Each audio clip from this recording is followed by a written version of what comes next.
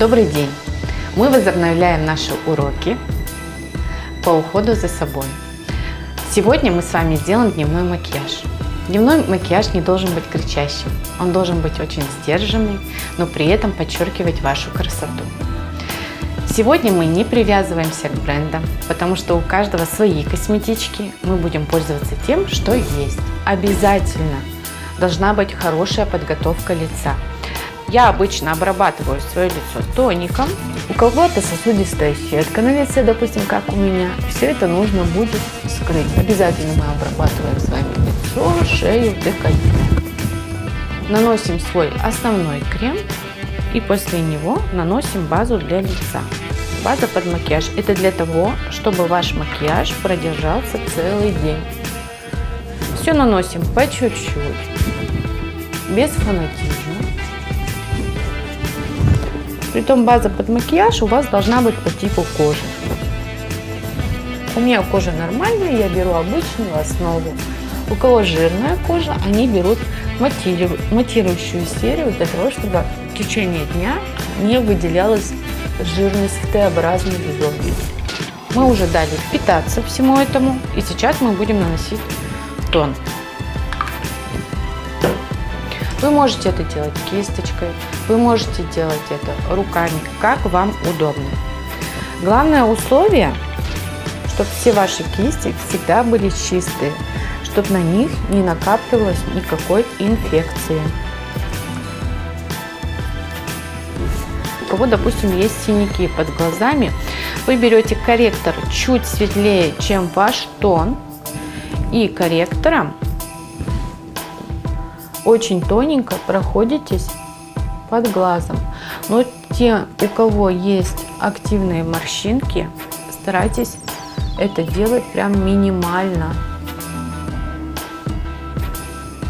Также этим корректором я могу пройтись по всему глазу, чтобы выровнять полностью весь тон. Палетки с разноцветными пигментами корректорами, они предназначены для того, чтобы скрыть проблему кожи. Допустим, зеленый – это для того, чтобы скрыть сосудистую кожу. Красный цвет – вы нервничаете, вы знаете, что, допустим, у вас будут какие-то важные переговоры, вы знаете, что вы пойдете на торжество, а, выпьете алкоголь, вы знаете, что у вас будет прилив крови, и вы покраснеете. Тогда обязательно нужно носить зеленый корректор под низ очень тонким слоем. И сверху его обязательно нужно закрыть тональным средством. Потом идут вот такие вот, видите, персиковые, розовые. Это все уже фиолетовые есть а, для проблемной кожи. Где-то надо воспалительный процесс закрыть, где-то надо очень сильные синяки закрыть. Но э, в основном у наших женщин преобладает сухая кожа. А наши женщины а, в основном скрывают морщинки. У нас очень мало воспалительных процессов, очень мало тех, кто с синяками. Но это я говорю по своему опыту. Те э, гости, которые приходят в клуб красоты Марсель, то, с чем сталкиваюсь я. Вот, допустим, мое лицо уже готово. Кто-то любит, вот э, вы, наверное, заметили, в этой палетке есть еще такой темный цвет, любят корректор, как раньше наносили, чтобы было видно скулы, э, как будто лицо такое худенькое. Сейчас э, мы уже как-то отходим от этого, все больше используем корректоры сухие и делаем это слегка, потому что если это много нанести, это будет смотреться как пигментное пятно. Я сегодня сделаю акцент на глазах. Есть вот такие кремовые тени, они, мы их можем использовать как подложки под сухие тени. Для чего они нужны? Они нужны для того, чтобы ваши тени не осыпались и не сворачивались к вечеру. Вы, наверное, замечали, когда вы ходите в течение дня целый день, у вас тени сворачиваются и уже неравномерно лежит пигмент, и это смотрится уже грязно и некрасиво. Я покупаю вот такой цвет, как у тонального средства, и наношу на все веко. Есть они также с блесточками. Их можно использовать отдельно, просто как тени. Есть вот такие матовые. Я предпочитаю матовые. Если с блесточками, вы наносите только на подвижное веко. Если вот такие матовые, вы можете по всему глазу. Но во всем хороша мера, еще раз повторяю. Все наносим по чуть-чуть. Потому что если вы, а, у вас веко сухое, вы нанесете много, у вас будет обратный эффект, у вас все может потрескаться. Сейчас мы сделаем очень выразительные глазки. Будет очень красиво. Если вы хотите взгляд сделать более таким игривым, вы э, берете тени с перламутром. Если э, вы идете на деловую встречу, то, конечно, вы берете матовые тени.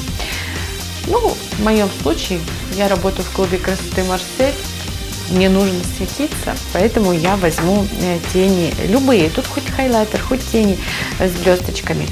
Притом я буду наносить его руками. Конечно, вы можете кисточкой наносить, но мне так удобнее. Мы наносим на подвижное веко, полностью на подвижное веко. Все тоненьким слоем.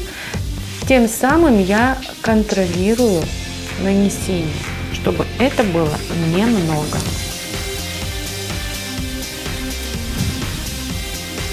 Вы можете выбрать любой цвет, который вам нравится. Я люблю более такие нюдовые оттенки. Видите? Также мы можем это нанести и кисточкой.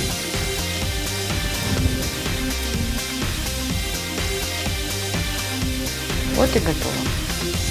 Я целенаправленно не наношу для того, чтобы не выделять какие-то свои морщинки.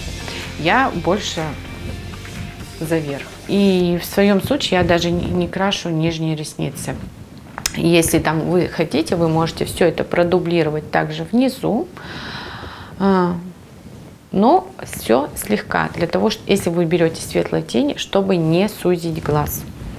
Мы же наоборот добиваемся выразительности взгляда. У многих сейчас э, сделан перманентный татуаж бровей, у многих сделаны глаза, губы, поэтому Кому-то достаточно просто расчесать брови, а кому-то достаточно подрисовать их тенями, карандашом, как вот, допустим, в моем случае. Мы это, я это делаю обязательно, потому что, когда я крашусь и наношу тон, брови мои закрашиваются. Я хочу их сделать более выразительными.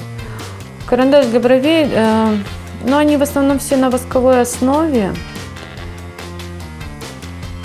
Вы выбираете тот оттенок, который вам подходит. А, допустим, мой тон он более темный, а я хочу сделать более невесомые брови. А, я выбираю намного светлее карандаш. Я люблю наносить тушь а, от внутреннего к внешнему, знаете, так, чтобы были как крылья бабочки к внешнему углу. Сейчас я вам это покажу. Сейчас ветра на улице и солнце достаточно активно, иногда глаз не открыть, поэтому я все наношу все по чуть-чуть. Даже если у вас тушь где-то отпечаталась, вот у меня нависшее веко, да, я крашу, и оно у меня отпечатывается. Не старайтесь быстро-быстро ее стереть. Пусть она подсохнет, мы потом ее с вами снимем и она снимется безболезненно для макияжа. Это все не размажется, это не будет синяков. Мы тихонечко это все уберем. Конечно же, дневной макияж. Еще подскажу, вы можете дополнить стрелочкой. Ради бога, это уже ваше желание. Ну, так как мы сегодня делаем легонький макияж, как-то так. В дневном макияже даже можно делать каял. Что такое каял? Это мы прокрашиваем внутреннюю слизистую. Если она сделано в сдержанных тонах, это тоже смотрится очень красиво. Но если вы делаете каял, вам нужно обязательно красить нижние ресницы. Сейчас вообще тренд идет на розовый цвет, но это, конечно же, все зависит от цвета кожи, да. Мы же не нанесем на желтое лицо там прям розовые, румяные, это будет не, не очень камильфо, не очень красиво. Хотя, знаете, если все по чуть-чуть и все это растушевать, это все будет красиво смотреться. А, тут я наношу корректор все вверх, все вверх. Можете вот так сделать. Не нужно наносить это вот прям вот сюда. Тогда эти щеки выползут, это будет некрасиво, и вот здесь будет смотреться как пигментное пятно. Обязательно растушевываем.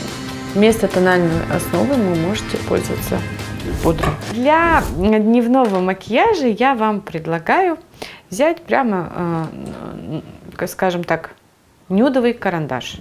Самый-самый светлый, какой есть, или тот, который вам подходит. Сильно белесые губы тоже делать не будем. Я слегка увеличиваю.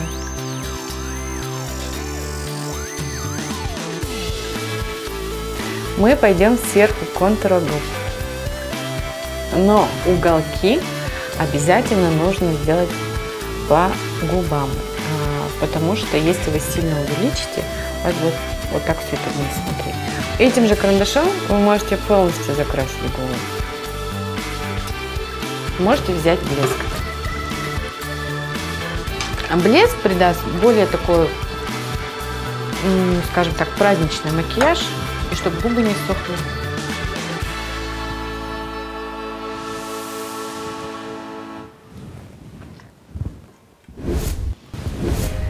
Женщина – самое красивое создание на этой планете.